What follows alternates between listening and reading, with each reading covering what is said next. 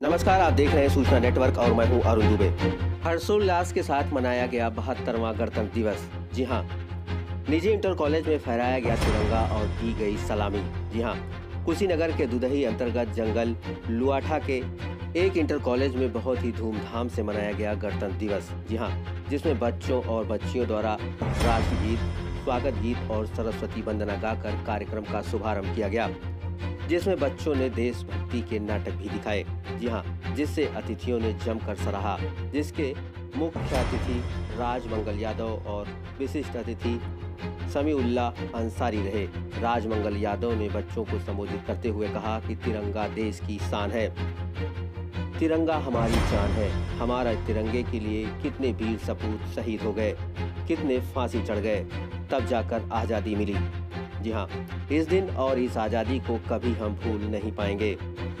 समीउल्ला अंसारी ने कहा कि 26 जनवरी हम आज़ादी के रूप में मनाते हैं और मनाते रहेंगे।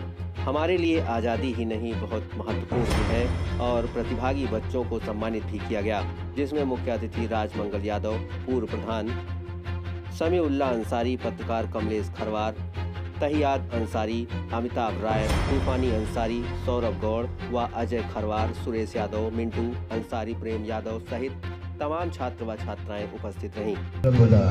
पंद्रह अगस्त उन्नीस सौ सैतालीस को देश आज़ाद हुआ था। उस दिन आज़ादी मनाई छब्बीस जनवरी उन्नीस सौ पचास को गणतंत्र दिवस आप लोग मनाते हैं। इसके पहले इस देश में साढ़े छह सौ रियासतें थी। आज़ादी के पहले 15 अगस्त उन्नीस सौ सैतालीस के बाद भी इस देश में साढ़े छह सौ रियासतें थी और बाबा साहब अंबेडकर ने संविधान लिखते हुए और ये व्यवस्था लागू की कि 26 जनवरी 1950 के बाद बाबा साहब अंबेडकर ने साढ़े छह सौ रानियों का पेट का ऑपरेशन कर दिया। क्या किया? साढ़े छह सौ राजाओं के रानी